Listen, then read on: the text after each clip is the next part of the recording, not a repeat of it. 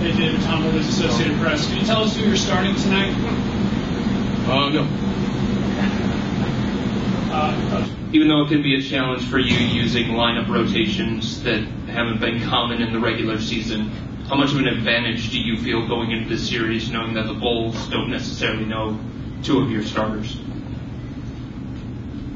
I'd rather it the other way around. To be honest with you. Is it an advantage or not? I don't. I don't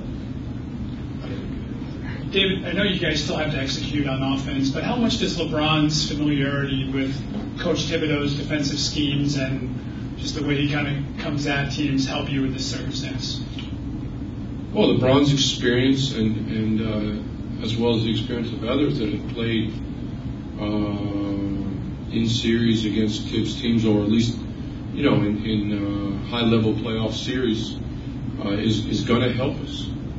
But the other guy has the other guys have experience too, and uh, you know when you come right down to it, you, you've got to you've got to be able to execute your game plan and execute your your the elements of the game at both ends of the court uh, better than your opponent and more consistently uh, in order to win. Uh, but you know, unquestionably, having having a guy or guys uh, like LeBron that have been there and and, and uh, have experienced this, is, you know, it's it's it's it's a big help for us.